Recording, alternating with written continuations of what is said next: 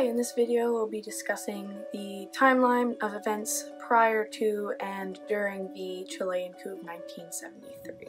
So our story actually starts September 4th, 1970, where President Allende was democratically elected as the first socialist president of Chile. He took office in November 2nd, 1970.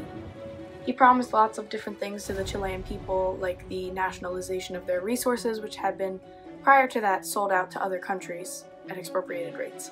On July 11th of 1971, the Congress of Chile unanimously approves uh, the proposal for the nationalization of the country's copper mines. And copper was a huge resource for the Chilean people. Already, there was a lot of uproar between uh, the left and the right factions of the political sphere of Chile, and as a result, from all the squabbles, uh, the economy began to tank.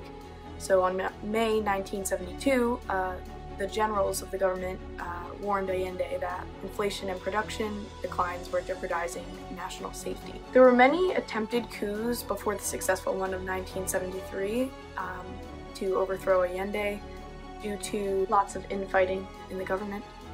On September 2nd of 1972, Allende announced a foiled coup and during that year, uh, in October and November of 1972, Allende was sick for 10 days and it was announced that he had had a heart attack.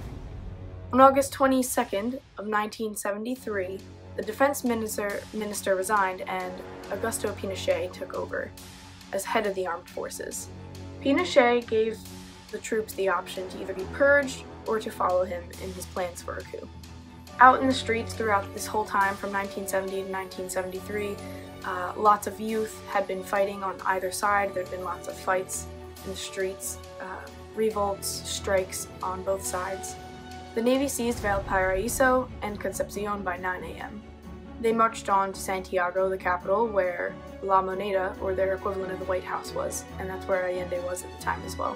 The Air Force requested for Allende to resign. He did not, but he also didn't call his followers to revolt, because he was trying to avoid mass bloodbaths and slaughter. The military junta led by Pinochet then proceeded to bomb La Moneda, and Allende killed himself rather than being taken by Pinochet's troops.